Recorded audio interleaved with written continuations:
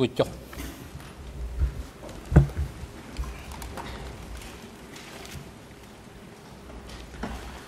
អង្គជំនុំជម្រះប្រកាសបន្តកិច្ចដំណើរការនីតិវិធីសមនការមុនផ្ដល់រាយការណ៍ជូនទៅសហមន្ត្រីការពារក្តីដើម្បីសួរដល់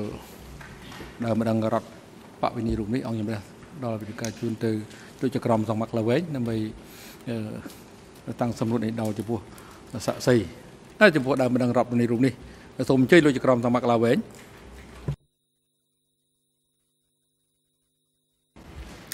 Merci, Monsieur le Président. បាទសូមអរគុណលោកប្រធានជំរាប Bonjour, សួ Monsieur រ le អរលោក témoin. លោកសីចាក្រមជំរាបសួរលោកសាសី Je vais vous poser quelques questions de បាទ suivi, ខ្ញុំសូមចោទសំ Monsieur ណួ la រចំ partie នួន civile. សូមបន្តពីសហបរិញ្ញា Vous nous avez parlé ce matin បាទ de កាល euh, ពីព្រឹកមិញ l'unité លោកបាននិយាយ spéciale ពីកងពិសេស qui était en មួយ charge de ដែលទទួល recueillir បន្ទុកក្នុងការ des ទទួល sur les ennemis et donc sur les Vietnamiens. Est-ce que vous savez euh, quand a commencé, quand, quand est-ce que les activités de euh, recherche, de collecte d'informations ont commencé? Est-ce que c'était avant que vous-même euh, à l'unité spéciale ou est-ce que c'est plus tard? ក្រអឺក្រោយពេលដែលលោកចូលកងពិសេសហើយ បានចាប់ផ្ដើមសកម្មភាពប្រមូលព័ត៌មានអំពីខ្មាំងហ្នឹងបាទសូមគោរពអឺពេលដែលខ្ញុំចូលទៅស៊ើបការហ្នឹងគឺព័ត៌មានយើងក្តាប់ជាប់ទៅម្ដងបាទដល់បានព័ត៌មានក្តាប់ជាប់គឺយើងយកមករាយឲ្យមេបញ្ជាការយើងទៅម្ដងបន្តទៅម្ដងបាទលោកប្រធាន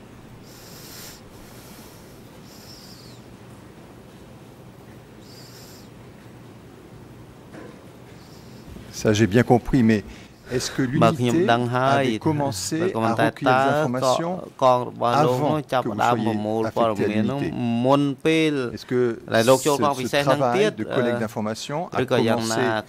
1975 bien est-ce qu'il existait déjà avant?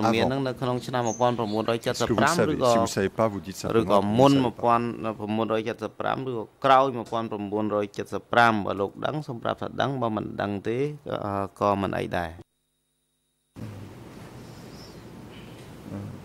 1975ឬក៏ក្រោយ1975បើលោកដឹងសូមប្រាប់ថាដឹងបើមិនដឹងទេក៏ក៏មិនអីដែរវត្តមានហ្នឹងខ្ញុំអត់បានដឹងទេបាទលោកប្រធាន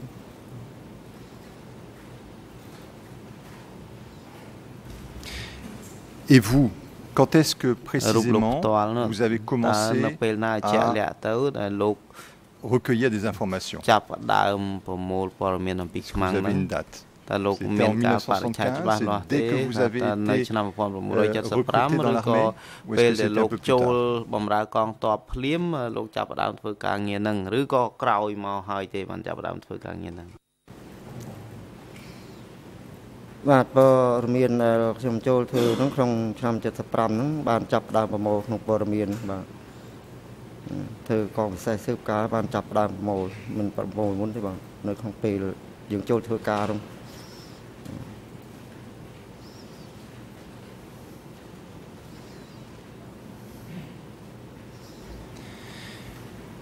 Est-ce que vous pouvez nous dire combien de personnes តើលោកអាចជម្រាបជូន faisaient តុ ce លាការ travail Est-ce que បាន vous ដែរឬទេ étiez ថា deux, trois ou est-ce qu'il y អឺគ្នាលោក avait ពុតបានអ្នក30ដែលធ្វើ personnes ការងារប្រមូលព័ត៌មាននឹង Combien de លោក personnes au ពី total 3នាក់ឬក៏ euh, 30 assurer 40 ces នាក់ activités អឺសូមលោកជម្រាបជូនតុលាការមកមើលប្រហែលអ្នកឲ្យជាក់លាក់ទៅក្នុង បាទសូមគោរពក្នុងការប្រមូលព័ត៌មានដែលស៊ើបការហ្នឹងគឺបើទៅទៅ3នាក់មានចំនួនទៅ3 4ទៅ4ហ្នឹងបាទបានសរុបមករាយការណ៍ឯកភាពគ្នាឲ្យទៅមេបញ្ជាការទៅបាទនឹងចំណាយកងទ័ពទៅបាទព័ត៌មានសភាពការខ្មាំង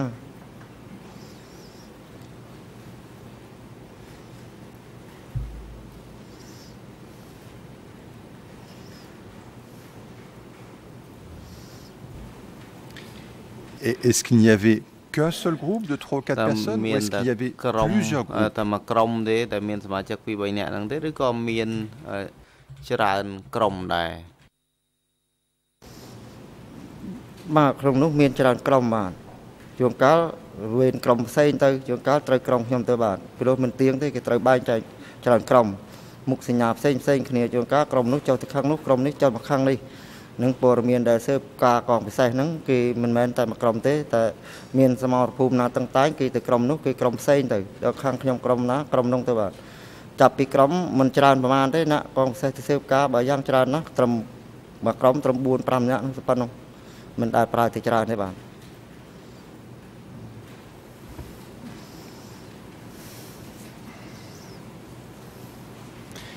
Et s- À votre connaissance, combien de, soldats, combien de personnes au total étaient impliquées dans ces activités de collecte de renseignements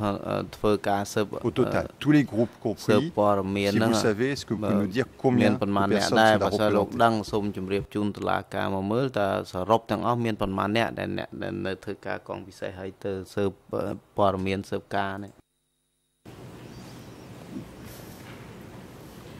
បទាំងអស់មានប៉ុន្មានអ្នកដែលអ្នកដែលនៅធ្វើការកងពិសេសហើយទៅស៊ើបអឺព័ត៌មានស៊ើបការនេះបាទអឺក្នុងនោះមានអឺចំនួនមកកផលជា100នាក់ជាងបាទកងមានក្នុងអឺង112ហ្នឹងបាទមានមកកហើយចំនួន150បាទអ្នកកងពិសេស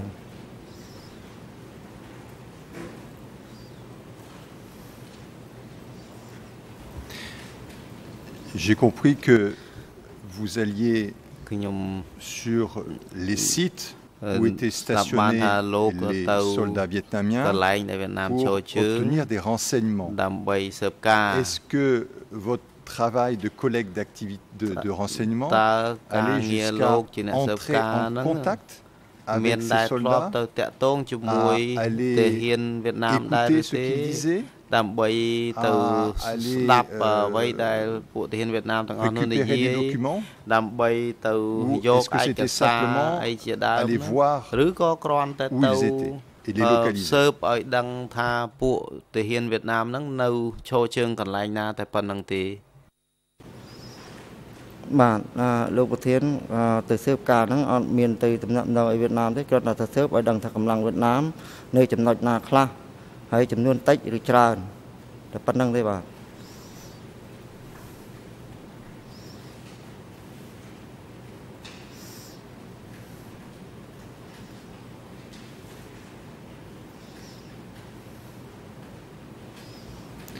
Donc vous comptiez អញ្ les, ចឹង les គឺ forces លោកទៅ en ហ្នឹង présence ទៅ et vous រាប់ indiquiez កម្លាំងវៀត où ណា ils ម étaient stationnés. ហើយ C'était les ដើម្បី renseignements ឲ្យដឹង qu'on vous ថា demandait. ពួកគេនឹង Est-ce ឈរ que j'ai ជើ bien ង compris? នៅកន្លែងណាអញ្ចឹងឬពេលដែលលោកចេញទៅគឺគេណែនាំឲ្យលោកទៅ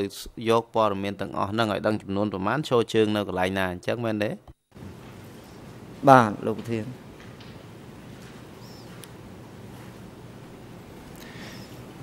Et pour obtenir ces renseignements, ហើយ est-ce ដើម្បី que ទទួលបាន vous ព័ត៌មាន rendiez ទាំងអស់ហ្នឹង uniquement, est-ce que vous étiez limité uniquement au territoire du តើ Cambodge លោកទៅ Ou est-ce ស៊ើប que តែ vous នៅលើ alliez ទឹកដី également dans le ខ្មែរ territoire ទេ du ឬក៏ Vietnam លោកចូលទៅលើទឹកដីវៀតណាមដែរបាទក្នុងពេលអំឡុងឆ្នាំ76និង77គឺចូលទៅដល់ទឹកដីវៀតណាមតែហ្មងចូលទៅស៊ើបដល់ក្នុងក៏មាន ហើយគេចូលមកទឹកដីយើងយើងស៊ើបនៅទឹកដីយើងពេលយើងរុញគេចូលទៅទឹកដីគេយើងចូលទៅស៊ើបដល់ទឹកដីគេដែរគឺកងពិសេសទាំងសងខាងគឺស៊ើបគ្នាទៅវិញទៅមកគេគឺមានអញ្ចឹងដែរយើងគឺមានអញ្ចឹងដែរគេចូលទឹកដីយើងស៊ើបយើងយើងចូលទៅគេស៊ើបគេទៅវិញទៅមកក្នុងកងកម្លាំងតែតែមានស៊ើបអញ្ចឹងបាទ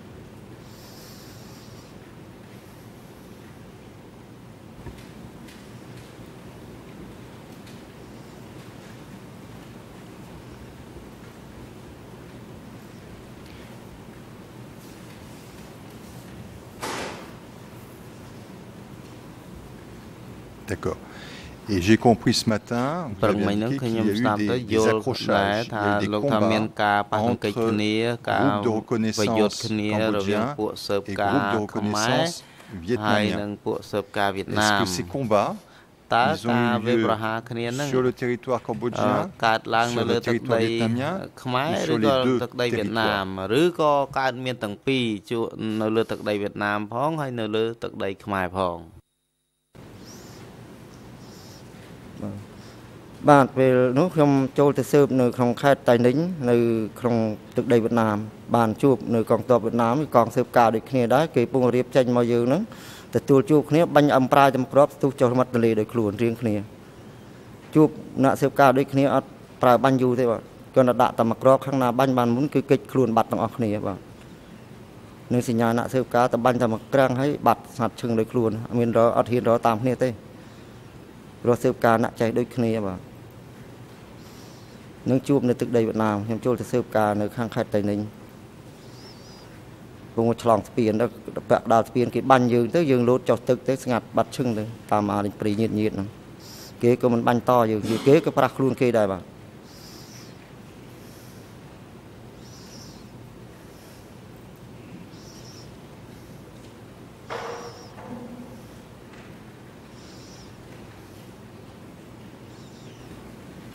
Donc là, vous faites état d'un អញ្ combat ចឹង qui a នេះ eu លោក lieu កំពុងតែនិយាយ au ពីការ Vietnam. អឺពើប្រទេស Est-ce ប្រយុទ្ធគ្នា qu'il y នៅ a eu វៀតណា également ម des combats qui ont eu lieu Ta- sur le territoire du Cambodge មានការប្រយុទ្ធគ្នាវេបហាគ្នាហ្នឹងនៅលើទឹកដីខ្មែរដែរឬទេបានមាននៅក្នុងឆ្នាំ76ហ្នឹងប្រយុទ្ធនៅលើទឹកដីខ្មែរយើងពេញទីហ្មងបាទ ពួកកងទ័ពវៀតណាមហើយនឹងខ្មែរយើងបានកើតសង្គ្រាមតាមព្រំដែនទៅវាយច្រានគ្នាទៅត្រូវកងទ័ពវៀតណាមវាយកងទ័ពអឺបដិវត្តហ្នឹងចេះតបាក់ថយចូលមកខេត្តស្វាយរៀងហ្នឹងទៅអឺក្នុង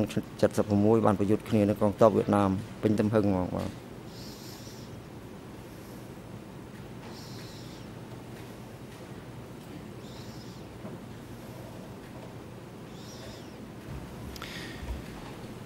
Si j'ai bien compris également ce que vous avez dit ce matin, vous avez expliqué que lorsqu'il y avait moins de tension, on vous avez enseigné comment poser des mines. Et si j'ai bien entendu ce matin, vous avez dit que vous alliez poser, que vous alliez poser des mines au-delà des euh, lignes ennemies. អឺចូល est-ce que je ទៅ dois ក្នុង comprendre ខ្សែត្រៀម Vous ខ្មាំង alliez ទៀត poser, vous alliez poser des mines អញ្ចឹង sur ខ្ញុំ le ត្រូវយល់ territoire យ៉ាងម៉េច vietnamien. អឺខ្ញុំត្រូវយល់ថាលោក បានដាក់មីននៅលើទឹកដីវៀតណាមឬក៏យ៉ាងណាបាទអ្នកស៊ើបការពេលយើងអ្នកស៊ើបការសិតតែចេះដោះក្របដាក់មីនអញ្ចឹងដល់ពេលយើងមានសឹកសង្គ្រាមអញ្ចឹងពេលមានកងទ័ពគេចូលមកវាយកងទ័ពយើងអញ្ចឹង យើងតែងតែមានប្រើចងក្របមីនស្កាត់ពីមុខស្កាត់ពីក្រោយបាទឬពេលយប់យើងត្រូវចងក្របមីនពីខ្សែត្រៀមមុខខ្សែត្រៀមរបស់យើងអឺឬពីចំហៀងខ្លួនយើងដល់ពេលព្រឹកបានយើងដោះចេញបាទត្រូវចងអញ្ចឹងជារៀងរាល់យប់បាទហើយនឹងអានឹងចងបកាយចោលហ្នឹងអានឹងចងផ្សេងបាទនៅតាមខ្សែក្រវ៉ាត់ព្រំដែនឬបកើតចងជាចំការមីននឹងធ្លាប់មានចងបាទ តំបន់ណាដែលត្រូវច្រកខ្មាំងចូលហ្នឹងគេចងមីនឲ្យច្រើនស្កេកស្កាស់ធ្វើជាចំការមីនមរភូមិណាដែលសារប្រយុទ្ធហ្នឹងសម្បូរមីនហើយបាទអស់បលលោកធាន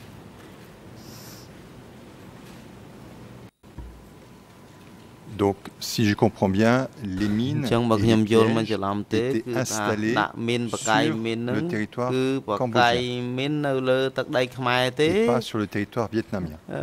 ហើយមិនមែននៅលើទឹកដីវៀតណាមទេឬក៏យ៉ាងណាបាទលើលើទឹកដីខ្មែរក៏មាននៅលើទឹកដីវៀតណាមក៏មានដែរបាទលោកប្រធានតាមកងទ័ពយើងចូលប្រយុទ្ធដល់កន្លែងណាអញ្ចឹងត្រែងតែមានក្របមីនចងនៅទីនោះហើយហឹម តែពេលមកហ្នឹងជួនកាលដោះមិនបានអស់ទេជួនកាលគេអត់ដោះទៀតគេដាក់ថែមទុកនៅតែហ្មងបាទមិនទៀងទេក្របមីន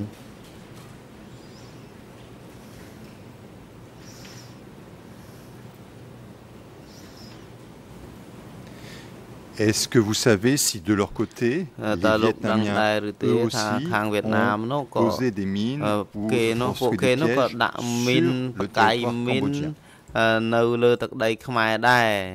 តើលោកអឺធ្លាប់ដឹងថាអញ្ចឹងមានកើតឡើងទេវៀតណាមមានធ្វើអញ្ចឹងទេ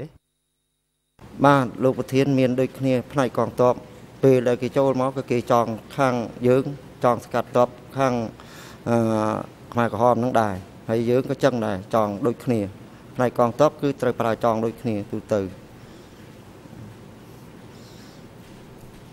ការពារយើងចូលទៅទៅយើងស្តាក់ក្របមានខ្ទុះទៅគេដឹង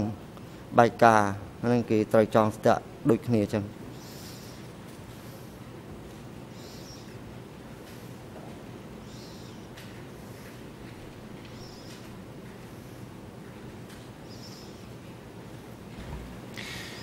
Est-ce qu'il est arrivé, alors que vous faisiez partie de នៅពេល l'unité ដែលលោក spéciale, នៅក្នុងកងពិសេសហ្នឹង les soldats cambodgiens Tao. fassent des prisonniers, Yothia, notamment des prisonniers Khmer nâng. vietnamiens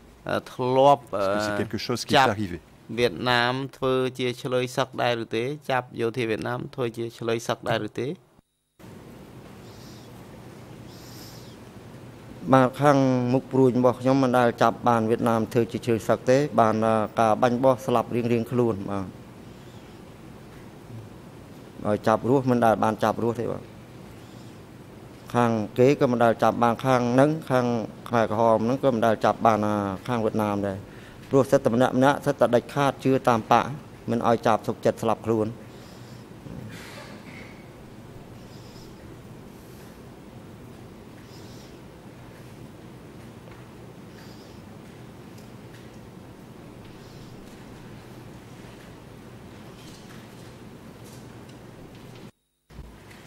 Est-ce que vous pouvez nous expliquer un peu plus quels Euh, étaient les ordres l'eau. de l'encart អឺអាចបញ្យល់ Vous dites, ឲ្យបានល les ម្អិត ordres de អំពី l'encart étaient de បញ្ជា ne របស់ faire អង្គការ aucun បានដែរ prisonnier ឬ de ទេ guerre.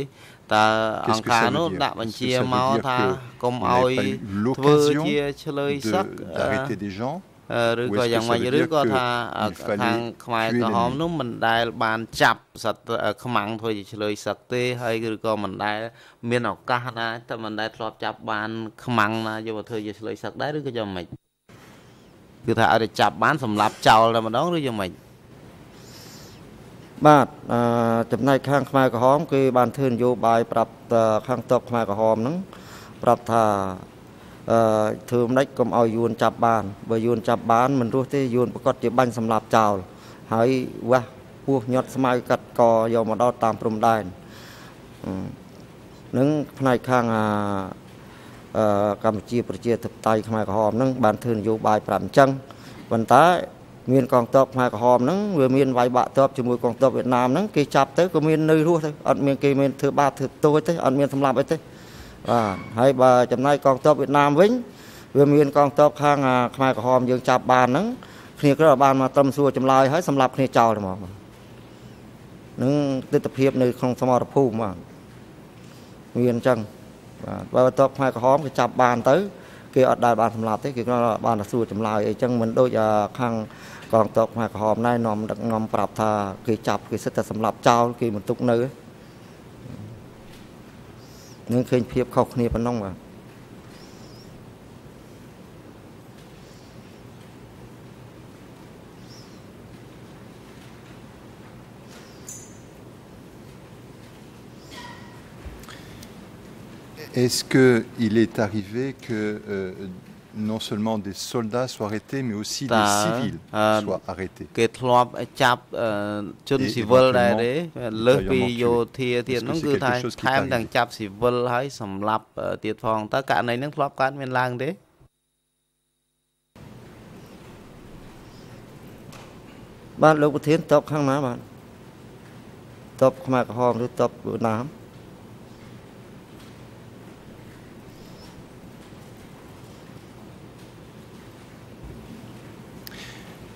Je parle d'arrestation effectuée par les soldats du Kampuchea démocratique et des arrestations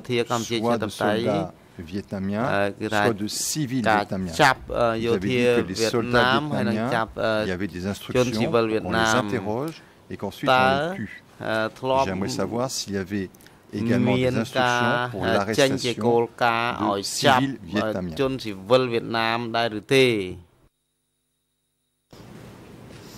បាទអឺលោកប្រធានអឺ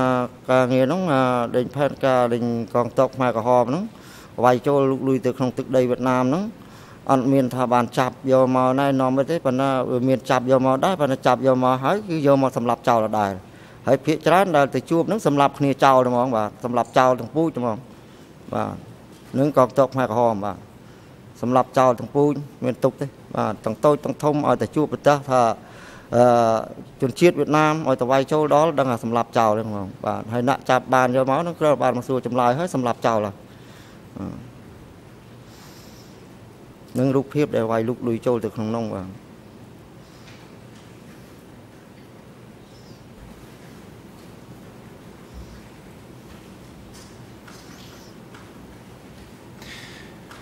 Et Vous êtes né dans le លោក district កើតនៅ de ក្នុងស្រុក Kampong Ru, កំពង់រ dans ោ la province de Sveirang. អឺខេត្តស្វាយរៀង Est-ce que, à l'endroit où vous habitiez, តើនៅកន្លែង il នេះ y លោករស់នៅ avait des នោះ civils vietnamiens Mien- qui habitaient également là ជន avec vous អឺ au ស៊ី milieu វិល des វៀត Cambodgiens ណាមអឺដែលរស់នៅជាមួយលោកគឺរស់នៅជាមួយនឹងប្រជាជនខ្មែរដែរឬទេ Est-ce que dans votre commune, est-ce que dans votre village, តើនៅក្នុងឃុំ il y avait des លោក Vietnamiens ភូមិ qui លោកនោះមានជនជាតិវៀតណាមរស់នៅដែរឬទេបាទកាលពីសង្គមមានរស់នៅ បាទរស់នៅជនជាតិវៀតណាមអីរស់នៅជាមួយនឹងអឺខ្ញុំអីហ្នឹងមានវៀតណាមរស់នៅតែដល់ពេលកើតអញ្ចឹងទៅគេផ្លាស់ប្ដូរជូនវៀតណាមទៅប្រទេសវៀតណាមទៅខ្មែរមកប្រទេសខ្មែរទៅក្រោយឲ្យដេញកើតសង្គ្រាមហ្នឹងបាទកាលពីដើមរស់នៅជាមួយគ្នាហ្នឹង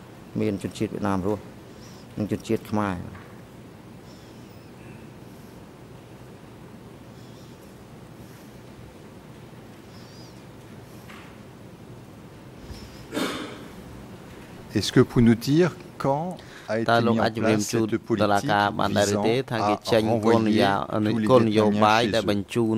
ជនជាតិវៀតណាមទាំងអស់ Avant le ទៅ17 avril ស្រុក75ពួកគេវិញនោះនៅ c'était ពេលណាមុនឆ្នាំ Et est-ce qu'il y a des Vietnamiens qui 1975 sont ឬក៏ក្រោយឆ្នាំ1975ហើយតើតើមានវៀតណាមដែលបន្តនៅប្រទេសកម្ពុជាទៀតដែរឬទេ ក្រោយពីការចេញគោលនយោបាយនឹងហើយ បាទអឺលោកប្រធានក៏ខ្ញុំនៅចាំនោះក៏ពេលថ្ងៃរំដោះ17មេសាហ្នឹងឆ្នាំ75ហ្នឹងនៅខាងខ្ញុំគេផ្លាស់ប្ដូរគ្នាទៅវិញទៅមកបាទគេជូនប្រជាជនវៀតណាមឲ្យទៅខាងវៀតណាមវិញហើយប្រជាជនខ្មែរគេឲ្យមកខាងប្រជាជនខ្មែរវិញបាទហើយប្រជាជនវៀតណាមពេលហ្នឹងគាត់អត់ហ៊ាននៅទេអឺជូនតាមអង្គការខ្មែរយើងហ្នឹងគេជូនទៅអស់ទៅបាទតាមខាងស្រុកកំពង់រោហ្នឹងជូនតាមផ្លូវព្រីវរជូនទៅឲ្យគេទទួលនៅខាងប៊ិនហ៊ីបហ្នឹងទៅអឺតែដល់ខ្មែរយើងគេជូនមកមិនបានអស់ទេ ជូនមកអញ្ចឹងទៅចេះតែជូនមកបន្តបន្តមកទៅចេះតែយកខ្មែរមកចងនៅមុខគេហើយយកទៅវាយចោលទៅខ្មែរយើងក៏ខកនៅ ខាងនោះមួយចំនួនធំទៅបាទនឹងខាងផ្នែកខ្ញុំទេភូមិខ្ញុំដែលជាប់នៅព្រំដែនជាប់គ្នាហ្នឹងបាទតែវៀតណាមគេជូនទៅគេទៅអស់ហ្មងជូនក្នុងឆ្នាំ75បាទ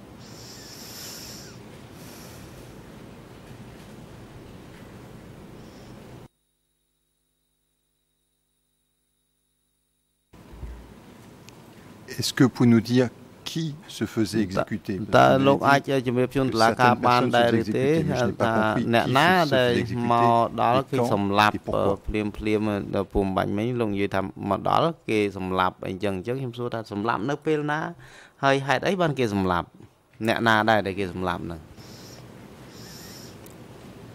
ជូនមកវិញដូច ពពិលដូចពុថែនធ្វើអីហ្នឹងនៅក្នុងភូមិខ្ញុំហ្នឹងគេដូរយកមកវិញហើយគេយកទៅសម្លាប់ចោលបាត់ទល់ឥឡូវទៅបាទនឹងគាត់មកពីវៀតណាមហើយជូនមកពីវៀតណាមច្រើនគ្នាដែលខ្ញុំមិនចាំច្រើនណាស់បាទបដូរគ្នាយកមកហ្នឹងហើយក៏គេហៅគាត់ថាទៅរៀនសូត្រហ្នឹងយកទៅវាយសម្លាប់ចោលបាត់ទល់ឥឡូវហ្នឹងទៅបាទក្នុងភូមិខ្ញុំមានអញ្ចឹងច្រើនគ្នាណាបាទអញ្ចឹងអាអ្នកដែលវៀតណាមគេឃើញអញ្ចឹងគេក៏លែងជូនមកទៅក៏នៅខកនៅប្រទេសវៀតណាមទល់តែរំដោះ79ហ្នឹងបានគ្នាហ៊ានមកទល់រាល់ថ្ងៃហ្នឹងទៅបាទអ្នកដែលមកមុនគឺស្លាប់ទាំងអស់បាទនឹងនឹងភូមិខ្ញុំ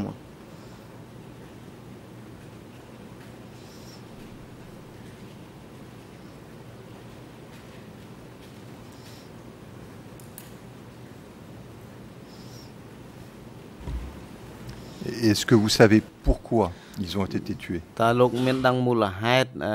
ដែលគេសម្លាប់ពួកគាត់ទាំងអស់ហ្នឹងដែរឬទេ ខ្ញុំអត់បានដឹងផងគ្រាន់គេថាពួកមកពីនោះគេថាប្រៀបធៀបដូចជាប្រជាជនថ្មីឬសេអាប្រកបឲ្យយួនអញ្ចឹងខ្ញុំមិនដឹងដែរបាទតែគេត្រូវយកសម្លាប់ចោលអញ្ចឹងណាដេញជូនមកហ្នឹង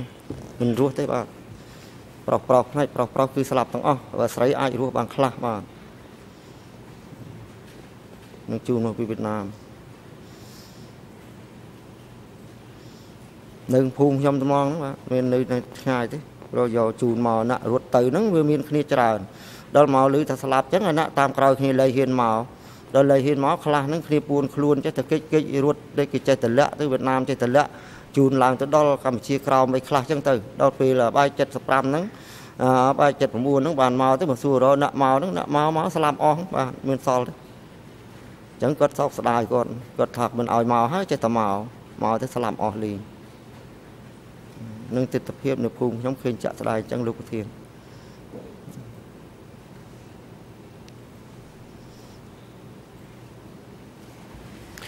Est-ce que pendant le Kampuchea démocratique, បាននៅ après le ក្នុងរបបកម្ពុជា 1975, ជា vous ធិប avez តេយ្យក្រោយពីខែមេ connaissance សា de ឆ្នាំ l'existence de familles 1977 mixtes, នោះលោកមាន c'est-à-dire ដឹង des ថា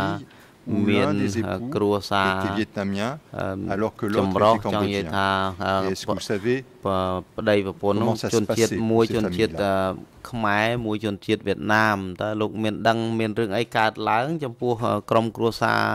ចម្រុះនឹងដែរឬទេ គ្រួសារកូនកាត់ហ្នឹងថាបើអាចថាប្តីជនជាតិវៀតណាមឬក៏ខ្មែរអឺប្រពន្ធជនជាតិខ្មែរឬក៏អឺបច្ច្រាស់មកវិញក៏ថាបានមានលោកមានដឹងថាមានរឿងអីកើតឡើងចំពោះពួកគាត់ទេ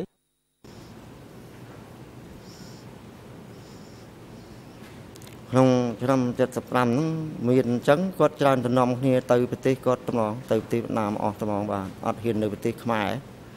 គាត់ច្រើននាំទៅនៅប្រទេសគាត់ត្មងដល់ពេល79មកគាត់ឡើងមកវិញនឹងបើឲ្យនៅគាត់មិនសូវហ៊ាននៅទេច្រើនទៅតាមប្តីទៅតាមពួនប្តីអញ្ចឹងពួនពួនទៅតាមអញ្ចឹងទៅអឺឃើញនៅបានតែមួយគ្រួសារដែលគាត់ចាស់ចរា នៅភូមិខាងជើងភូមិខ្ញុំហ្នឹងគាត់ចាស់ចរាគាត់នៅបានមិនអីហើយក្រៅពីហ្នឹងគេច្រើនទៅទៅអស់អស់ហ្មងជនជាតិវៀតណាមមានតែកូនកាត់អញ្ចឹងគឺគេទៅដែរបាទនៅនៅដោយសារថាយើងលាក់ប្រវត្តិរូបដឹងហ្នឹងនៅបាន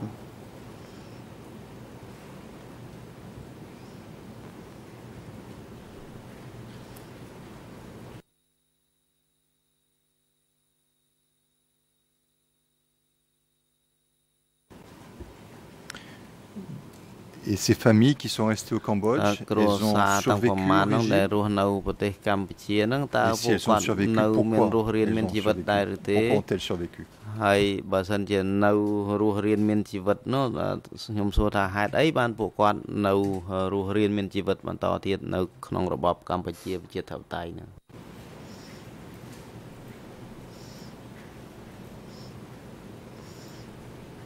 ដែលគាត់រស់នៅហ្នឹងគាត់ចាស់រាយាយហួយហើយនឹងទៅដល់ហ្នឹងគាត់ចាស់គាត់មានកូនចៅអីរៀបការអស់ហើយហើយគាត់រស់នៅដូចចាស់រាគាត់រស់នៅ គេមិនធ្វើស្អីគាត់អឺគាត់រស់នៅប្តីខ្មែរប្តីខ្មែរប្រពន្ធយួនហើយគាត់ចាស់រាគាត់រស់នៅតាមធម្មតា មានពីណាគេធ្វើអីទេបាទកូនចៅគាត់នឹងរៀបការបែរទៅជាសញ្ញតសញ្ញាណតសញ្ញាណខ្មែរអស់ហើយ នៅទល់តែគាត់ទឹមស្លាប់ស្លាប់ឥឡូវឥឡូវដែរហ្នឹងអឺគាត់រស់នៅហូបបាយសហកជាមួយតែអឺខាងខ្មែរក្រហមយើងហ្នឹងទៅខាងសហបាយសហកហ្នឹង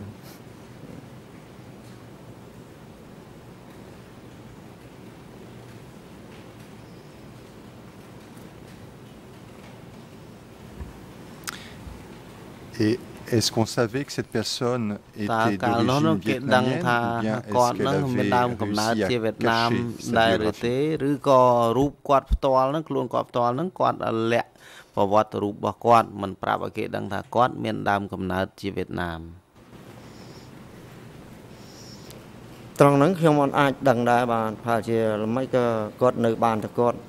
ពីព្រោះដឹងថាគាត់នៅបានអញ្ចឹងហ្មងបាទហើយអត់អី ហើយខ្ញុំមិនអាចដឹងថាគាត់ថាដាក់វត្តរូបខ្មែរមិនដឹងឬថាវៀតណាមមិនដឹងតែក្នុងគ្រួសារហ្នឹងគាត់នៅបានគ្រួសារនៅជាប់ភូមិខ្ញុំហ្នឹងបានហើយគេក៏មិនដែលអ្នកគ្រួសារនៅក្បែរក្បែរហ្នឹងជាជននៅក្បែរហ្នឹងឬអាស្រឡាញ់រាប់អានដែលពីណាគេថាគាត់យួនថាខ្មែរអីទេមិនដែលថាយួនថាអីទេរាប់អានថាខ្មែរយើងធម្មតាធម្មតាហ្នឹងតែត្រង់គាត់ដាក់មិនក៏ខ្ញុំមិនដឹងដែរតែគាត់នៅបានសុខសាន្តរហូតបាទ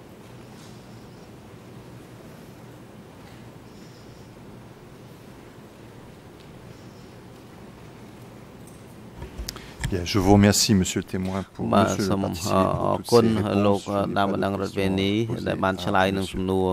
ខ្ញុំបាទខ្ញុំអស់សំណួរឲ្យលោកប្រធានបាទអរគុណទីបន្តទៅនេះអមះផ្ដល់វិការជូនទៅក្រុមសហមិត្តវីការពារក្តីដំបូងនេះផ្ដល់ទៅសហមិត្តវីការពារក្តីលោកមនុនជាដើម្បីមានឱកាសតាំងសំណួរនេះដល់ចំពោះដើមបណ្ដឹងរដ្ឋបព្វនីរូបនេះ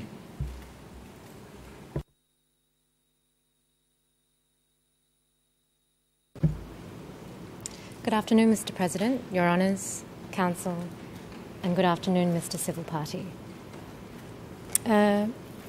You've spoken this morning about your work in the special unit, បាទ and ជំ you រាបសួ also រលោក just ប្រធានលោក spoke ស្រី about ចា it ពុក now មិញនេះ with គឺ Judge ថាលោក Mohan. បាននិយាយ Um, អំ but ពី there are បញ្ a ហា few ជនជាតិ details វៀត that ណា were ម still ក៏ប៉ុន្តែ unclear មាន to me. ចំណុចល្អមួយចំនួន So I just ដែល wanted ខ្ញុំ to មិនទាន់ ask ច្បាស់ you នៅឡើយ first two follow-up ខ្ញុំ questions អឺ about that. ចង់សួរលោកពី3សំណួរ So my first បញ្ជាក់អំ question ពី is, ចំណុចនេះសំណួរ do ដំ you បូងរ know របស់ខ្ញុំ how សួ many រថាតើលោក members ដឹង were ថា in the special unit នៅ in ក្នុង total? កងពិសេសនេះកងតបកងពិសេសនេះមានគ្នាទាំងអស់ប្រមាណអ្នកដែរបាទ មានគ្នាទាំងអស់ប្រហែលជា150ក្នុងកងពិសេសបាទ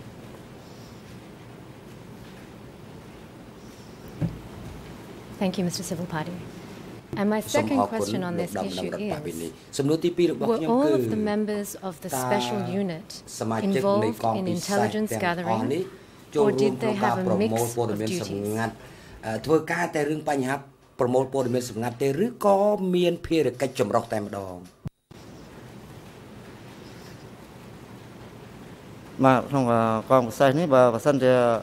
មានអាសមរភូមិណារៀងតឹងតែងគេត្រូវជ្រើសរើសសិទ្ធិកងពិសេសចូលប្រយុទ្ធត្មងបាទនឹងសូមជម្រាបប្រាប់លោកប្រធានចំបាទ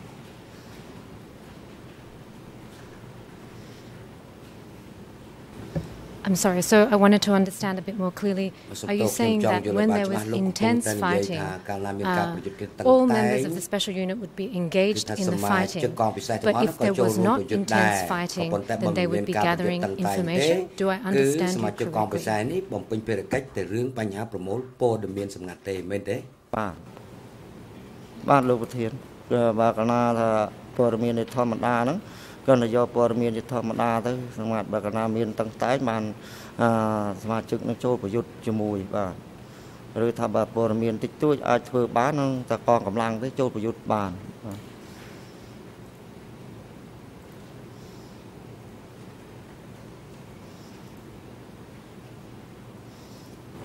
Thank you, Mr. Civil Party. មេធាវី Just សូម one អ more រគុណ question about this, and I'll សំ move ណួរ on មួយ to ទៀ my តសូម second បញ្ជាក់ពី topic. ចំណុចនេះហើយ Were you បន្តមកខ្ញុំចូល yourself ទៅប្រធាន ever បទថ្មី involved តើ in ខ្លួនលោក fighting តលមានធ្លាប់ against ចូលរួម Vietnamese or ប្រយុទ្ធ other forces? ជាមួយនឹងកងទ័ពវៀតណាមឬក៏កងកម្លាំងខាងណាដែរទេ បាទលោកប្រធានបានធ្លាប់ចូលប្រយុទ្ធញឹកញាប់បាទមិនសូវជាបានតំណេប្រមាណទេបាទប្រយុទ្ធនៅក្នុងថ្មរភូមិធំធំបាទ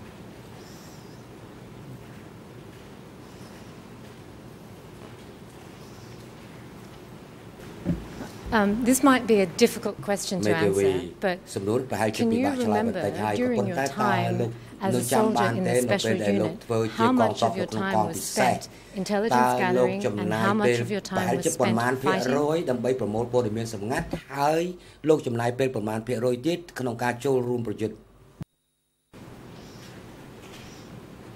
បាទអឺលោកអឺប្រធានពេលយើងនិយាយស៊ើបការបានហើយយើងនាំតបទៅរៀបបាទនៅកងពិសេសអ្នករៀបតប អ្នករៀបតបរៀបចំណុចឲ្យតបអឺខាងតបយើងនឹងដឹងចំណុចពីកន្លែងចំណុចខ្មាំងកសោយខ្សោយឬខ្លាំងដល់ពេលយើងចង់នៅប្រយុទ្ធយើងប្រយុទ្ធទៅបើកាលណាយើងមិនចង់ប្រយុទ្ធយើងដកមកវិញមកអានេះសំខាន់តែយើងចង់នៅប្រយុទ្ធគឺយើងនៅប្រយុទ្ធជាមួយបានបាទមិនថាចាំថាពេលណាដែលយើងត្រូវចុះទៅប្រយុទ្ធទៅណាណីនោះអត់មានទេបាទបើយើងចង់ដកថយទុកឲ្យតកងកម្លាំងប្រយុទ្ធទៅប្រយុទ្ធទៅបើកាលណាយើងចង់នៅប្រយុទ្ធគឺយើងនៅជាមួយគ្នាបាទ នេះជាសិទ្ធិរបស់ពួកកងពិសេសបាទមិនបាច់ចាំពិបាកប្រប្រមូលព័ត៌មានឬទុកឲ្យពេលណាតែចុះទៅប្រយុទ្ធជាមួយគេទេបាទគឺយើងណាក់ដឹកនាំគេទៅរៀបចំផ្ទាល់ហើយបើយើងចង់នៅប្រយុទ្ធនៅតែបើយើងមិនចង់អានឹងយើងដកថយមកទុកគេប្រយុទ្ធទៅ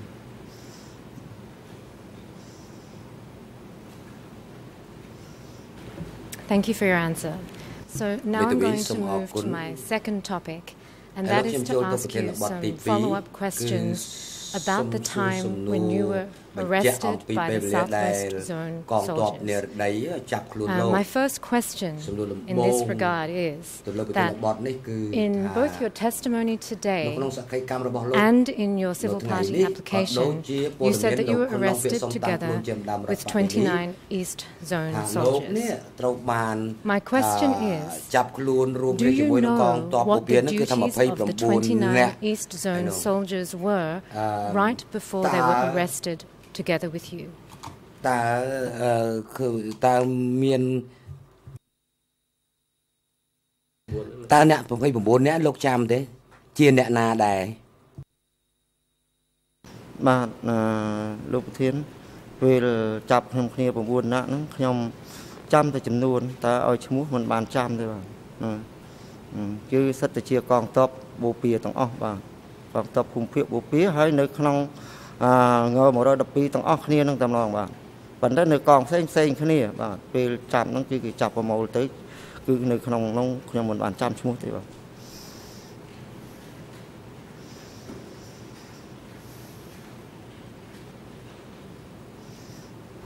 No problem, Mr. Civil Party. I will មេ move ធា on វី to a មិន different ជាថ្មីទេ question. លោកដើម Uh, ម្ដងរដ្ឋ in បវេនី your civil party application, នៅក្នុងពាក្ you យសុំ said តាំង something ខ្លួន that I ជា want ដើម to ម្ដង ask រ you ត a ប bit វេ more នី about. របស់ Mr. President, this is document E3 slash 4950. And the relevant ERNs are in Khmer 00550646. In English 01 05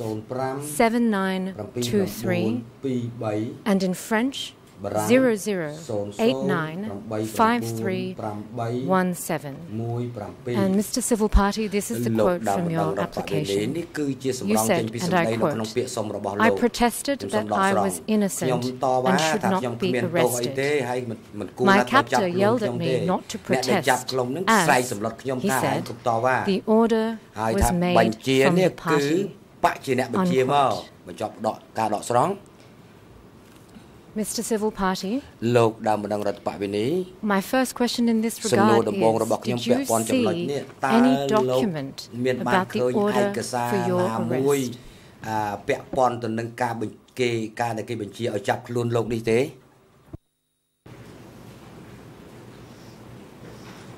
បាទអឺលោកប្រធានខ្ញុំអត់បានឃើញបទបញ្ជាអត់ឃើញឯកសារអីបទបញ្ជាទៅទេប៉ុន្តែគាត់ថា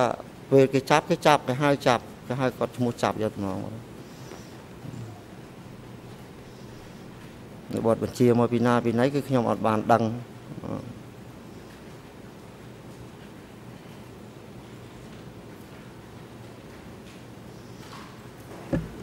Thank you.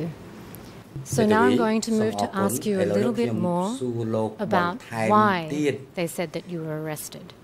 តើគេមានប្ Now រាប់ថា today at មូលហេតុអីបានជាគេ 10:02 ចាប់អឺលោកទេនៅ I ថ្ងៃនេះ understood នៅ that you ម៉ោង said that 10:02 Southwest ខ្ញុំ Zone ចាំថាលោកនិយាយ soldiers ថាកងទ័ arrested ពភូមិភាគ you និរតីបានចាប់ and they លោក said that they ហើយ needed ពួក to គេបាន purge និយាយថាពួកគេ bad ត្រូវបោស elements សម្អាតសមាស who were ធាតុមិន those ល្អ with Yun heads and Khmer គឺ bodies. អ្នកដែលមានអឺ I also heard you ក្បាល say យួន at ខ្លួនខ្មែរ 10:07 ហើយនៅម៉ោង and at 10:02ក៏លោកនិយាយដែរ 11:02 that ក៏ដូចជាម៉ោង um, 11:02 you ក៏លោក were និយាយដែរ accused ថាលោក of ត្រូវបាន betraying the party, ចោទប្រកាន់ថា being a ក្បត់ traitor. បកលោកគឺជាជនក្បត់ហើយ My question is សំណួររបស់ខ្ញុំ Did the សួរថា Southwest Zone soldiers តើ say កងទ័ព anything ភូមិភាគនិរ else តី about មាន why និយាយ you អ្វី were បន្ថែម arrested? ទៀតទេដែលថាដែលនាំឲ្យមានការចាប់ខ្លួនលោកនេះបាទអឺខាងភូមិភាគនិរតីដែលពេលគេចាប់ខ្លួនហ្នឹងខ្ញុំតវ៉ាបានតែប៉ុណ្ណឹងហើយក្រោយមកគេអត់មានថាស្អីគេគាត់ថាចោតប្រកាន់មកថាយើងជាអ្នកក្បត់បកអឺ ក្បត់ប្រជាជនអញ្ចឹងក្បាលយួនខ្លួនខ្មែរអញ្ចឹងទៅក៏គេទុកយើងដល់ពេលយើងអឺចប់ពីហ្នឹងមកស្ងាត់យប់ប្រលប់ងឹតមើលមិនឃើញគេយកខ្សែមកច្រកតាមអានិញដៃចងហើយយកទៅសម្លាប់ចោលតំណងគេអត់មានសួរអីតទៅទៀតទេបាទហើយគេចោតប្រកាន់អញ្ចឹងហើយ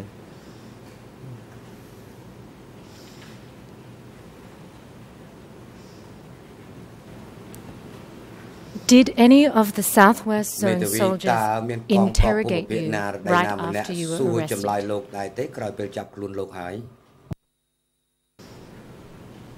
បាទអាលោកជាក្រុមក្នុងពេលនោះអត់មានបានសួរអីទេពីព្រោះគេបឋមយកទៅសម្រាប់ចោលហើយអត់មានសួរចម្លើយណាក់ណាបានម្នាក់ទេគឺមានតែរូបខ្ញុំម្នាក់ដែលតវ៉ាបានប៉ុណ្ណឹងហើយក្រៅពីនឹងគឺបិទមាត់ស្ងាត់ស្ងៀមទាំងអស់គ្នាគឺដឹងតែពីរឿងគេដោតខ្សែបដាយកទៅសម្រាប់ចោលតែម្ដងអឺ គេបត់បញ្ជាស្រាក់ខោអាវអស់ហើយនៅសល់តែខោខ្លីម្នាក់ម្នាក់ហ្នឹងបាទគេអត់មានសួរចម្លើយអីវែងឆ្ងាយឬសួរថាអង្គភាពណានៅកងណាពលណាគឺអត់ហ្មងបាទវាដឹងតែវាយកទៅសម្រាប់ខ្លាចសម្រាប់ចោលទៅមក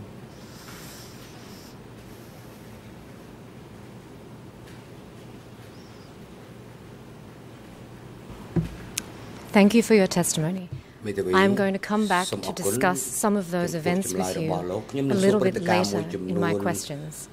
But now I wanted to move on to my next topic, and that is to discuss with you a little bit more about the conflict between the southwest zone and the east zone, which you've already discussed quite a bit this morning. So this morning you mentioned that you joined the revolution in 1975 and that you attended study sessions from time to time. Did you ever hear during the early study sessions about conflict or tension with the south southwest ភាពតាន zone? តឹងឬក៏ចំនួន already រ in វាង1975ភូមិភាគនិរដីនោះអឺតើនៅក្នុងឆ្នាំ75ហ្នឹងតើមានចំនួនឬក៏មានភាពតានតឹងហើយឬនៅបាទអឺលោកប្រធានកាលពេលខ្ញុំចូលនោះអត់មានទេបាទអត់មានសភាពតានតឹងពីនិរដីបូព៌ាអីគឺអត់មានទេបាទហើយអត់មានថាដឹងជាអត់មានថាមានរឿងអញ្ចឹងអញ្ចឹងទេស្ទេទេបងបាទគិតថាអឺ កងទ័ពតែមួយអឺតែអញ្ចឹងនឹងមានមានដឹងថាមានរឿងអីទេស្ទេទេហ្មងបាទ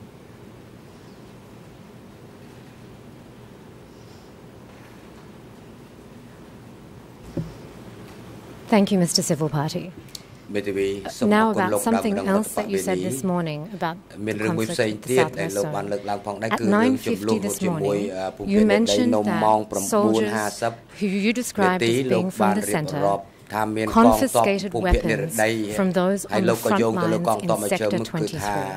អឺបានទៅរឹបអូសអាវុធដកហូតអាវុធពី We also have កង evidence ទ័ព on នៅ the តំប case ន់ file 23 about ហើយនៅ weapons ក្នុងសំ being ណុំរឿងយើងក៏ confiscated from បាន soldiers ឃើញ on ដែរ the ថា front មាន lines ការ in another East រឹ Zone បអូសយក sector, អាវុធ Sector អាពី 21, and I want to ask you កងទ័ព something តំបន់ about that now 21ភូមិ and ភាគ see បូ if ព៌ានៅ this តាម jogs ព្រំ your ដែន memory about អ further ញ្ចឹងខ្ញុំ events សំ in ខាន់ this សម្រាប់ regard. នេះថាតើវាជួយរំលឹកដល់ការចងចាំ Mr. President, this is the interview of Uk Bun Chun by the academic Steve Hedder on 14 អ្នកសិក្សាស្រាវ August ជ្រាវ Steve 1990. Hedder នៅខែ Mr. Civil សី Party, ហាថ្ងៃ14 As សី you ហា may ឆ្នាំ know, Uk Bun 1990 Chun was the Deputy លោកដើម Secretary ម្ដង of រដ្ឋប Sector វេនី21 of the នឹងអុក East ប៊ុនជឿន Zone នេះគឺ and ជា is អ currently នុលេ a ខា CPP senator. អាមួយនៅក្នុង Mr. President, the document references ឯកសារ are ដែលយកនេះលោកប្រធានគឺឯកសារ E3 3 and the ERNs are ERN គឺ in Khmer ខ្មែរ 00379503 0035 in English អង់គ្លេស 0035 02 18 18 to 19 ទៅដល់19 and in French បារាំង 00 44 14 36. 36 Mr. Civil Party, uh,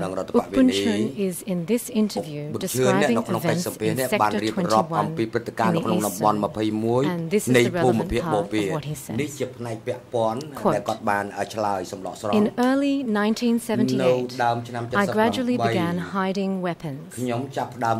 ខ្ញុំចាប់ផ្ដើមធ្វើការ I លាក់អា also វុធ instructed ហើយ districts ខ្ញុំក៏ which were under ណែនាំ my ទៅស្រុក sector ផ្សេងផ្សេងទៀតនៅក្រោមតំ that បន់ when របស់ខ្ញុំ combatants in the ថា front នៅ line ពេលដែលយុទ្ធជន fighting នៅ the Vietnamese សមរភូមិមុខ forces វេយជាមួយនឹងកង ran ទ័ពវៀ back តណាម and ទៅ had weapons, រត់មកឲ្យក្រោយវិញហើយ we មាន had to អាវុធ take យើង and ត្រូវ keep តែ their weapons. យកអាវុធរបស់ពួកគេហើយ And then a រក្សាអាវុ little ធ bit របស់ពួកគេ later, ទុក Uk ហើយ Bun ក្រោយ Chun មកទៀត continues. អុកបញ្ជឿនបានបន្ត We did not ឆ្លើយ supply the ថាយើង weapons to battlefields. មិនបានផ្គត់ផ្គង់អាវុធទៅ We ដល់ secretly សមរភូមិមុខ kept ទេ them យើង in លាក់ our អាវុធទាំង sector. នោះ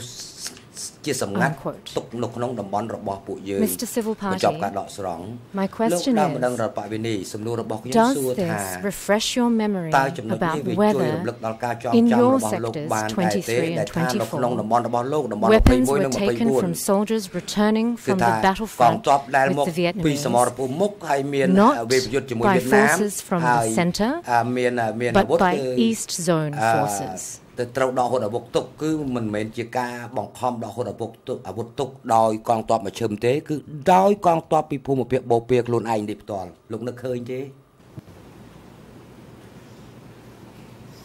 អឺបាទលោកប្រធានពេលអឺដេញដកអាវុធខ្ញុំហ្នឹងអឺខ្ញុំមិនដឹងជានៅខាងណាទេប៉ុន្តែអ្នកដែលពេលចុះទៅដកហ្នឹងកងទ័ពអឺយើងទៅពីមជ្ឈិមហ្នឹងតែហ្មងបាទអឺ ពីព្រោះខ្ញុំនៅក្នុងតំបន់23ទៅដកខ្ញុំនៅអឺក្នុងអឺស្រុករមាសហែកបាទឃុំអង្គប្រស្រែភូមិអង្គប្រស្រែបាទក្នុងកងទ័ពពីគាត់កងពួត703តែម្ដងបាទទៅដកខ្ញុំនោះទៅដកអាវុធពួកខ្ញុំនោះនៅតំបន់23នោះហើយបើខាងនោះខ្ញុំមិនបានស្គាល់ទេ ខាងលោកប៊ុនឈឿនអីនោះខ្ញុំក៏មិនដឹងដែរតំបន់21តំបន់24អី តំបន់22ខ្ញុំមិនដឹងទេបាទបើខ្ញុំនៅតំបន់23គឺគាត់ទៅដកនោះគឺខ្ញុំនៅចាំច្បាស់ណាបងពីព្រោះខ្ញុំបានចូលនៅក្នុងគាត់នោះបានរយៈពេលជិតកន្លះខែដែរ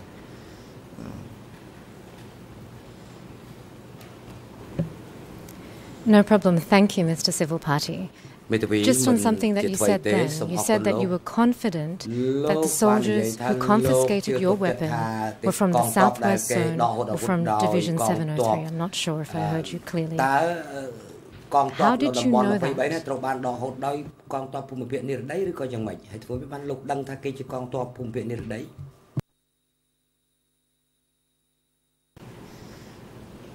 Mà, cái hai con tập trong từ pi mà. កហូតដោយកងទ័ពភូមិភាគនិរដីឬក៏យ៉ាងម៉េចហើយធ្វើឲ្យបានលោកដឹងថាគេជាកងទ័ពភូមិភាគនិរដីបាទកាលនោះគេហៅកងទ័ពចុះទៅពីមជ្ឈមបាទនៅភូមិភាគនិរដីកងទ័ពមជ្ឈម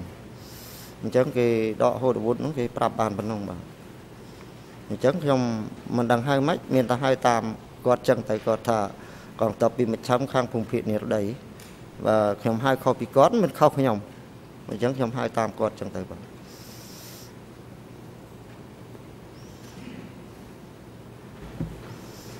Thank you, Mr. Civil Party. So now I'm going to move, we're still on the same topic, but I'm going to move a bit more generally. And I would like to ask you, what did you know about why there was a conflict between the southwest and east zones?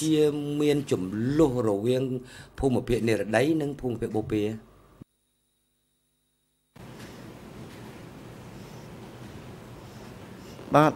លោកប្រធានពេលនោះខ្ញុំអត់បានដឹងអីដែរគាត់ថា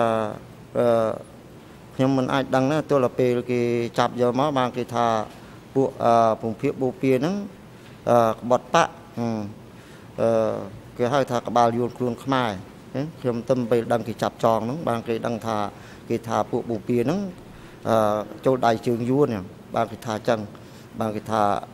ក្បត់ពិបាកក្បាលយួនខ្លួនខ្មែរតែការពិតពួកខ្ញុំជាកងទ័ពនោះអត់មានដឹងអីទាំងអស់បាទដឹងតែពីស្រឡាញ់ខ្មែរនិងគោរពខ្មែរការពារពរណភាពដណ្ដីរបស់ខ្មែរមិនឲ្យយួនយកបានតែប៉ុណ្ណឹងបាទតែតែចុងក្រោយទៅដល់គាត់ចោទប្រកាន់អញ្ចឹងទៅខ្ញុំក៏មិនដឹងថាម៉េចដែរបាទនៅថ្នាក់គាត់ដាក់ដឹកនាំនោះបាទ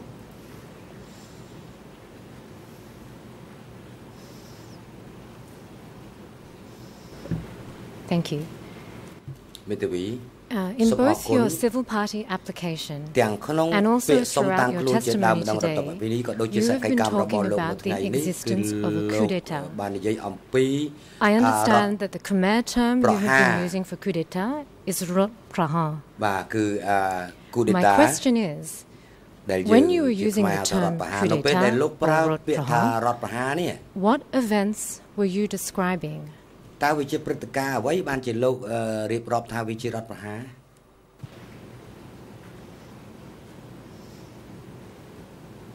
បាទលោកប្រធានក្នុងពេលនោះវាមានវាយប្រហារគ្នាកងទ័ពខ្មែរក្រហមនិងខ្មែរក្រហមតែមួយបាទហ្នឹងពីមជ្ឈមហើយនឹងភូមិភាគបូព៌ាយើងហ្នឹងទៅ អញ្ចឹងក៏គេហៅថាពាក្យរដ្ឋប្រហាររដ្ឋប្រហារហ្នឹងខ្ញុំក៏មិនទៅចេះដឹងអីចេះតែហៅតាមគេទៅថារដ្ឋប្រហារវាយគ្នាឯងកងទ័ពគ្នាឯងអញ្ចឹងបាទនឹងរដ្ឋប្រហារហ្នឹងក្នុងឆ្នាំ78ហ្នឹងបាទនឹងវាយគ្នាឯងគេហៅថារដ្ឋប្រហារហ្នឹងខ្ញុំមិនដឹងដែរ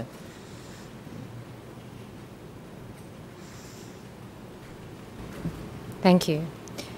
Now, you just said in answer to one of my earlier questions that you did not have traitorous intentions. And I understand that. My question now is did you ever hear anything about secret plans being made in the East Zone during the Democratic Kampuchea period? To rise up against the center?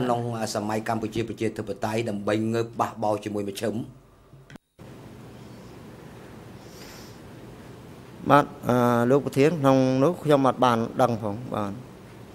ខ្ញុំនៅកងទ័ពនៅសមរភូមិមិនបានដឹងដូចនៅប្រទេសក្នុងនៅក្រៅទេបាទខ្ញុំគិតតែពីសមរភូមិនៅជប់នឹងវៀតណាមកម្ពុជាវៀតណាមកម្ពុជាបាទនៅក្រៅខ្ញុំអត់ដឹងព្រោះខ្ញុំជាកូនទាហានបាទជាកូនចៅមិនអាចដឹងថាគេរៀបមិនគឺខ្ញុំមិនដឹងដែរបាទ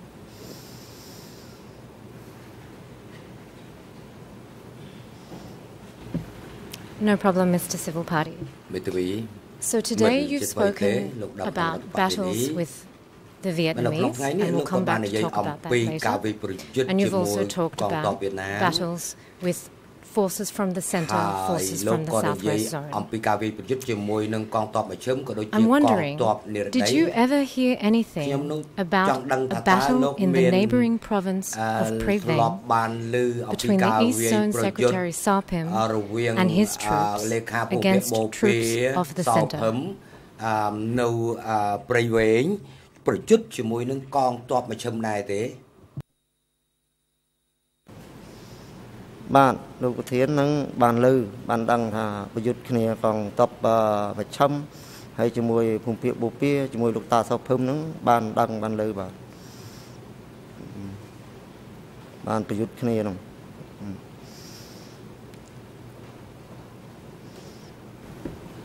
Okay, I'm going to have a few questions for you just about this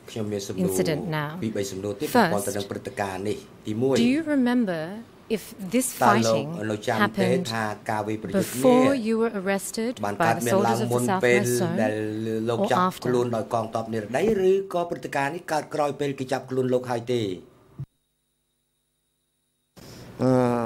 បាទលោកប្រធានព្រឹត្តិការណ៍ប្រយុទ្ធជាមួយសោភឹមនឹងហើយបានចាប់ពួកខ្ញុំបាទបានចាប់ពួកខ្ញុំយកទៅសម្លាប់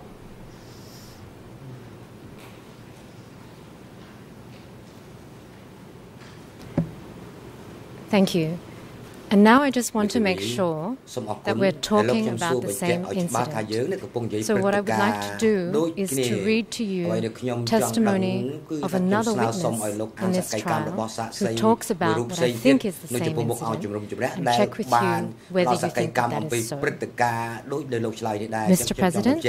this is document E3 slash 9467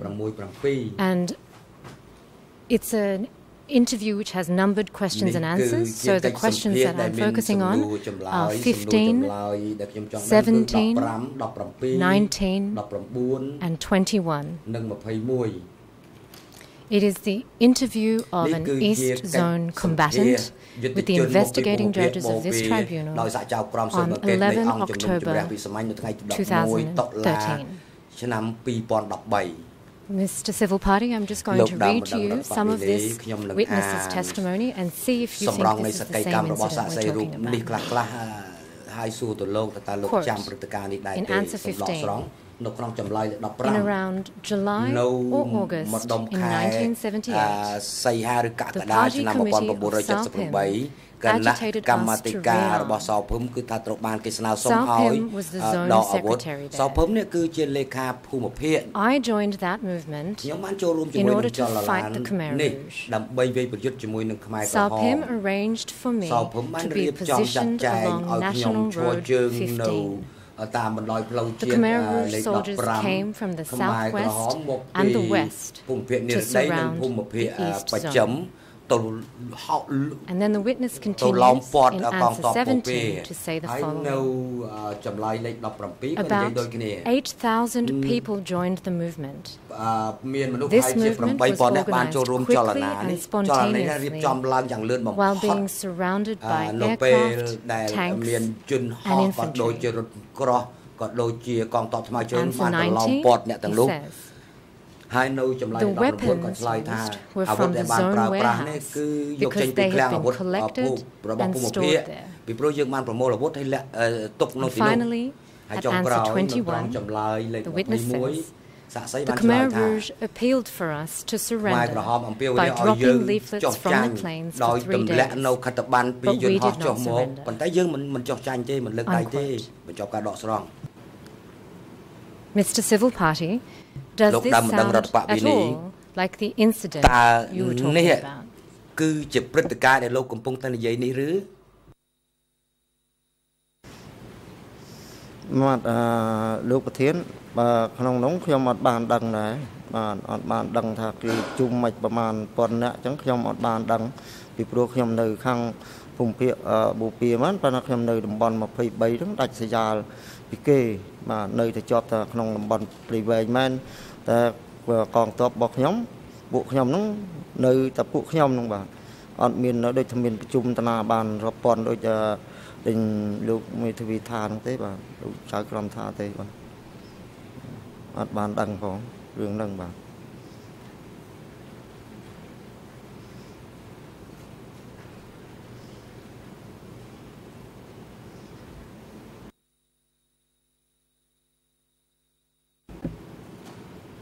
No problem. Thank you, Mr. Civil Party. So now my questions are moving in a different direction, and we are going to focus a little bit on the night that you were arrested by the Southwest Zone forces. And the first area I would like to discuss with you is the executions that took place. I'm going to read to you something that you said in your civil party application. Mr. President, that is E3 4950. At the ERNs, Zero zero five five zero six four six in Khmer. Zero one zero five seven nine two three in English. and zero zero eight nine five three one seven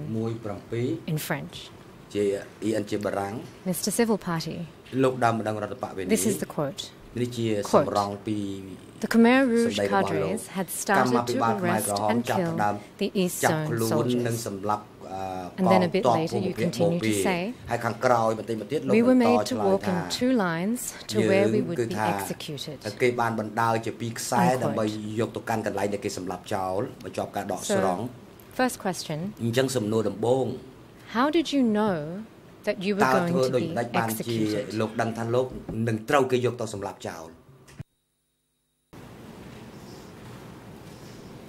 បាទលោកប្រធានពេលហ្នឹងគេហៅយកចង់ដៃចង់អីហើយ គេបដើយកទៅ ជាពីរខ្សែប្រលុបប្រលុបយកមើលមិនឃើញបដើយកទៅទៅដល់កន្លែងហ្នឹងគេឲ្យអង្គុយចុះគេឲ្យអង្គុយចុះមានគ្នាវាហ្នឹង7 8នាក់ហ្នឹងកាន់កភ្លើងអាការហ្នឹងប្រជួងពីក្រោយខ្នងហើយគេស្រាយយក4នាក់ខាងមុខគេយកទៅវាយចោលចម្ងាយប្រហែលជា20 30ម៉ែត្រហ្នឹងអាចលឺវាយដល់យើងហ្នឹងវាយចោលហ្នឹងស្រែកយំទៅវាយបឋមឲ្យស្លាប់ទៅ ពួកខ្ញុំក៏ភ័យស្ទុះរត់ហ្នឹងក៏អ្នកពួកវាហ្នឹងក៏ស្ទុះបាញ់ងាប់ទាំងអស់តំឡងទៅបាទនឹងបានដឹងថាគេខ្លាចគេវាយចោលបាទនឹងគេសម្រាប់យកខោអាវអស់ហើយបាទ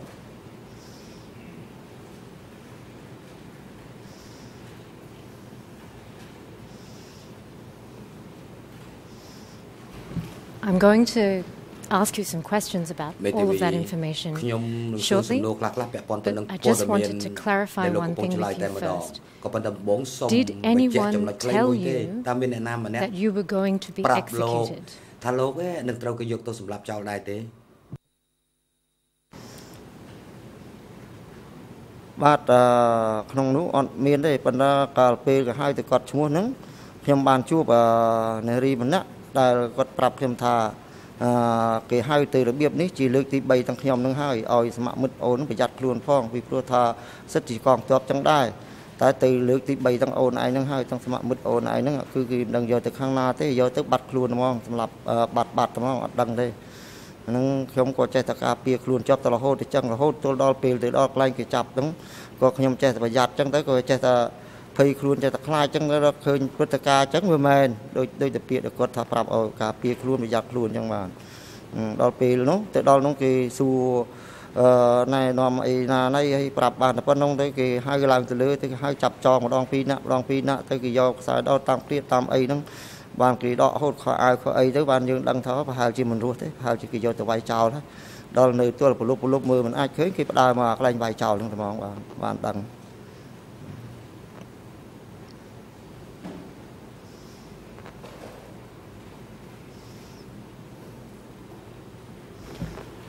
So just to talk about that lady for a minute. បើឡើយយើងនឹងនិយាយគ្នាអំពីចំណុចនេះបន្តិចតើអ្នកដែលប្រាប់លោកនឹងជាកងទ័ពឬបាទអឺនៅផលជានារីនឹងជាកងទ័ពសេរីការដែរហើយបាទពីព្រោះខាងនោះមានកងទ័ពនារីដែរបាទហើយគេដកគាត់ទុកតំណាក់ឯងទេបាទខ្ញុំនិយាយមិញបានអស់បាទពីព្រោះគាត់នឹងថាមកក្នុងចំណោមគាត់មានតែគាត់ម្នាក់ឯងទេហើយគេដកគាត់នឹងទុកបម្រើការងារដាំបាយ ដងទឹកអីហ្នឹងទុកនៅក្នុងបាទហើយដេញអ្នកដែលមកសមមិត្តដែលមកជាមួយជាមួយគាត់ហ្នឹងត្រូវគេបញ្ជូនឡើងមកលើថាឡើងទៅលើលើនឹងឡើងទៅណាបាត់អស់មានឃើញទេបាទហើយគាត់គ្មានសង្ឃឹមទេគាត់ថាគ្មានក្តីសង្ឃឹមទេគាត់និយាយអញ្ចឹងហើយអួលដើមកគាត់ស្រក់ទឹកភ្នែកយំគាត់ដើរចេញពេលគាត់មកប្រាប់ខ្ញុំហ្នឹងពេលហ្នឹងគឺខ្ញុំចេញទៅបត់ជើងតូចទេបាទបត់ជើងតូចនៅប្រឡោះគុំជ័យទៅគាត់ឃើញទៅគាត់ពុកនៅជាប់ពីគាត់ឆ្លៀតឆ្លៀតឆ្លៀតពេលមកមកសញ្ញោប្រាប់មកផ្លែហ្នឹងគាត់កិច្ចតែហ្មងបាទ មិនអាចអ្នកណាឃើញទេបាទពេលហ្នឹងបាទគាត់គាត់ប្រាប់ហេតុផលតែប៉ុណ្្នឹងបាទមិនមែនទៅជួបឲ្យនិយាយជំនុំគ្នាធម្មតាអញ្ចឹងទេបាទគាត់ឃើញខ្ញុំថាសុំចូលបត់ជើងតូចទៅគាត់នឹងទទួលពលៀងពីងទៅនោះគាត់កិច្ចខ្វាច់មកប្រាប់តែបានប៉ុណ្ណឹងកិច្ចភ្លាមរៀងរៀងខ្លួនហ្មងមិនមែនថាទៅនិយាយបានដូចយើងនិយាយធម្មតាអញ្ចឹងទេបាទ But just to be sure so she was boiling water តើពេលគេដាំទឹកសម្រាប់កងទ័ពមកពីនិរដីតើអញ្ចឹងមែនឬទេ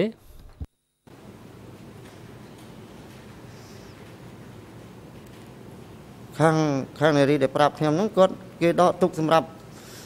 ចាំដាំបាយដាំអីផ្នែកខាងកងទ័ពគាត់ខាងនិរដីហ្នឹងបាទមានពេលហ្នឹងគេដកអស់ហើយ ដកតាំងពីគណៈស្រុកអីពីខេត្តស្វាយរៀងអីគេដកអស់ហើយដកមេមេស្រុកខេត្តអីគេដកអស់ហើយបាទកាលពីគេចាប់ខ្ញុំហ្នឹងគណៈស្រុកគណៈស្រុកថ្មីទៅពីខាងនិរដីដែរបាទនឹងពេលគេហៅខ្ញុំទៅក្រោយហើយគេចាប់យកទៅសម្លាប់ហ្នឹងសិតតែគណៈស្រុកថ្មីទាំងអស់គណៈប្រជាជនគេប្រាប់ថាគណៈស្រុកចាស់ចាស់ហ្នឹងគណៈខេត្តតំបន់23ចាស់ចាស់ហ្នឹងគេហៅឡើងមកអស់ហើយមកសម្លាប់នៅណានៅណាបាត់អស់ហើយ សិតតែអ្នកទៅពីខាងនិរដីទៅកាន់គណៈស្រុកអស់ហើយខ្ញុំមិនអាចស្គាល់បានអ្នកណាទេបាទ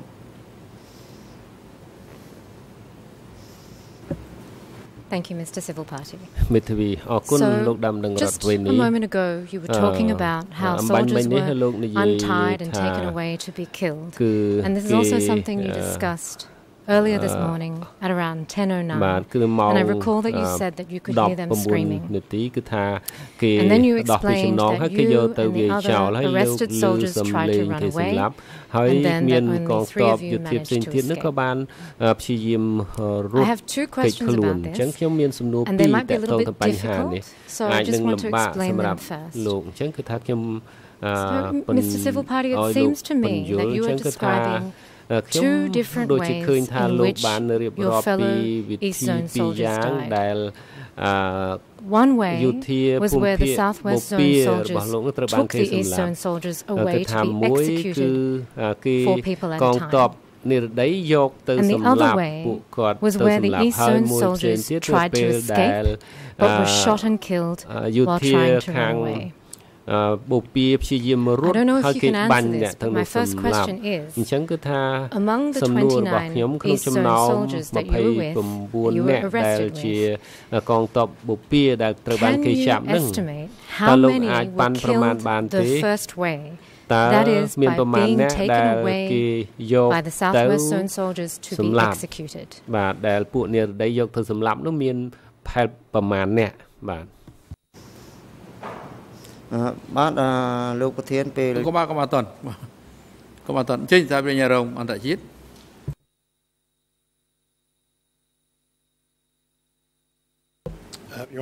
សហប្រញ្ញាលោកលោកស្រីចៅក្រមគឺថាសំណួរនឹងគឺថាសាក់សីបាន បញ្ជាក់អំពីវិធី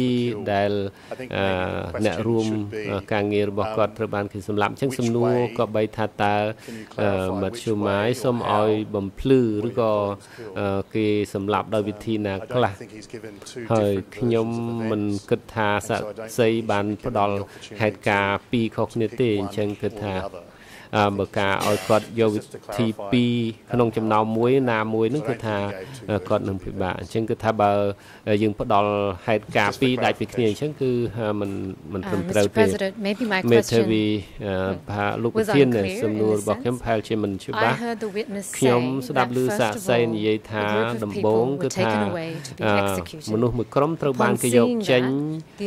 យកទៅសម្លាប់ថាដោយសារឃើញគេយកទៅសម្លាប់អញ្ចឹងអ្នក ដែលនៅសេសសល់នោះព្យាយាមរត់គេចខ្លួនហើយត្រូវបានគេបាញ់សម្លាប់អញ្ចឹងអ្វីដែលខ្ញុំចង់បានចម្លើយនេះគឺថាតើមានប្រមាណអ្នកដែលគេយកទៅសម្លាប់ហើយប្រមាណអ្នកដែលរត់ហើយត្រូវបានគេបាញ់ត្រូវបានគេបាញ់សម្លាប់អញ្ចឹងលោកដើមនឹងរដ្ឋវិនីតើអាចពន្យល់បំភ្លឺតឡាការពីបញ្ហានេះបានដែរឬទេបាទលោកប្រធានពេលហើយគេយកពួកខ្ញុំទៅសម្លាប់ហ្នឹង គឺគេយកទៅ4នាក់ទៅវាយចោលហើយបានពួកខ្ញុំហ្នឹងស្រ័យដៃស្ទុះរត់ទាំង3នាក់បាទហើយដែលរត់ហ្នឹងអ្នកដែលនៅហ្នឹងត្រូវពួកគេហ្នឹងគេបាញ់រះស្លាប់ទាំងជាប់ចំណងហ្មងបាទហើយរីឯរូបខ្ញុំរត់3នាក់ហ្នឹងពួកគេដេញបាញ់តាមប្រកិតពីក្រោយខ្នងរហូតបណ្ដាលឲ្យត្រូវរបួសម្នាក់ទល់ដល់មាត់ច្រាំងពួកខ្ញុំលួចជំមុជទឹកទៅគេឈរចាំនៅមាត់ច្រាំងនឹងទៀតបាទពេលខ្ញុំហើបងើបមកគេបាញ់ថែមពីលើខ្ញុំមុជម្ដងទៀតបានរត់ដល់ត្រាយម្ខាងបាទបានរួចខ្លួនទៅ បាទហើយណាក់ដែលរត់មិនរួចហ្នឹងត្រូវស្លាប់មួយកន្លែងហ្នឹងជាប់ទាំងដៃជាប់ចំណងហ្នឹងហ្មងទាំងខ្លួនទៅទេហើយដៃជាប់ចំណងជាប់ទាំងខ្សែដោតតាមប្រហោងឃ្លាទៀតបាទ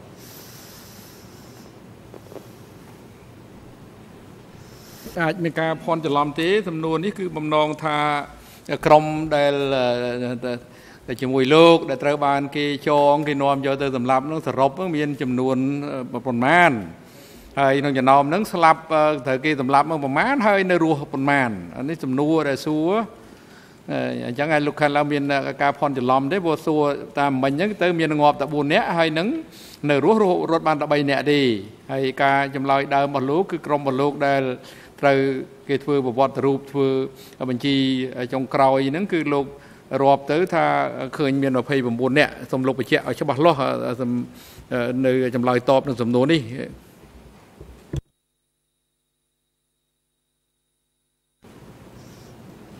បាទគឺស្លាប់អស់ប៉ុណ្ណឹងមែនបាទរត់រួចតែ3នាក់បាទទាំងអស់វា29បាទលោកប្រធានទាំងអស់29នាក់តែហើយរត់រួចបានតែ3បាទស្លាប់អស់26នាក់អ្នកស្លាប់ព្រោះពេលនោះពីរខ្សែទាំងអស់វា29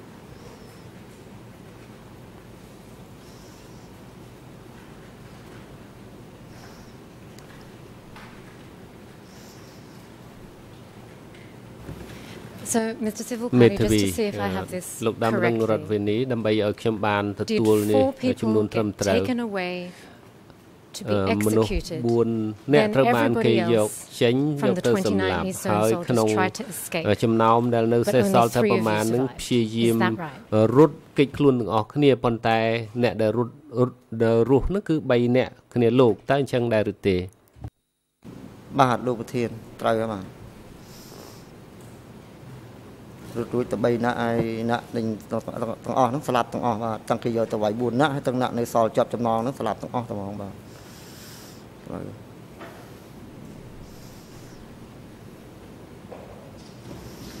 Thank you Mr Civil Party មេធាវីសូមអរគុណតាមនឹងរវិនីលោកប្រធានខ្ញុំនឹងបន្តទៅ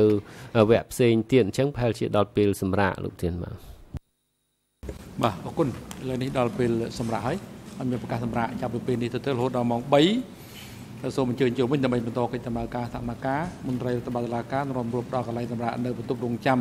សម្រាប់សកសីដល់ដើមដឹងរដ្ឋបវេនីរូបនេះនៅក្នុងឡុងពេជ្រជុនតម្រានិងឲ្យអញ្ជើញគាត់ត្រឡប់មកកាន់កន្លែងផ្ដល់សក្ខីកម្មនៅក្នុងបន្ទប់សមការនេះវិញនៅវេលាម៉ោង3សម្រាប់ចុះ